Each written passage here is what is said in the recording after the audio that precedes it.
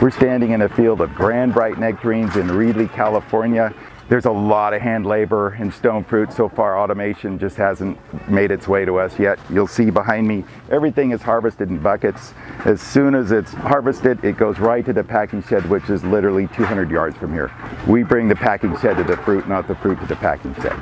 So now we're at one of our packing sheds. You can see behind me the orchard where the fruit was harvested. It's picked in buckets by hand, brought directly here, and the packing shed is the next place we'll visit. Now we're at a packing shed. Here the fruit gets washed, graded, sorted, and sized and put into the appropriate containers for the retailers.